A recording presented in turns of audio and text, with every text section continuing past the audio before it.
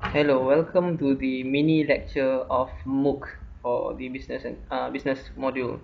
Now, uh, since this is a mini lecture, what we are going to talk about today is a very short one. It's a very brief one, a bit of concept on business and production.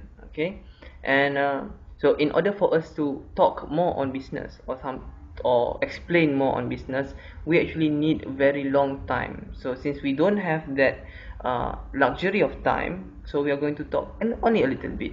Let's try to define business. If we are supposed to define business this is what are the agreed definition of a business.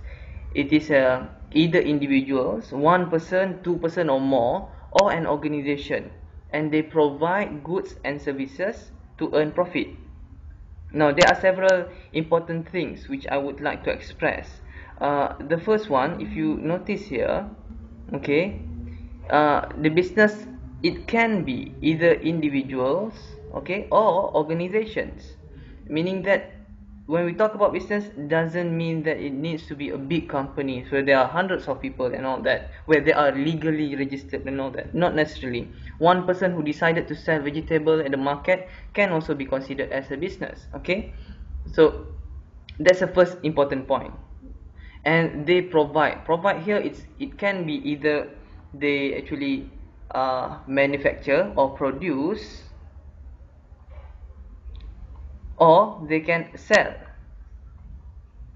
It can be both. They can produce and sell or they can just uh, they can just sell it without producing anything. So normally they only we can only produce as a business person or as a business company you can only produce goods and services. You can choose either only goods okay or only services or both.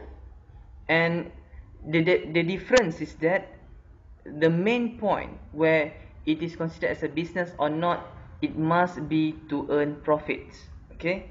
So without profit you can't really consider yourself as a inside the business. Okay? So what is a profit? It's a difference between what the revenue is what you get when you sell stuff and your expenses or what you the cost. Okay? What you spend and what you get back. That's a uh, profit. Let's take a look at the second one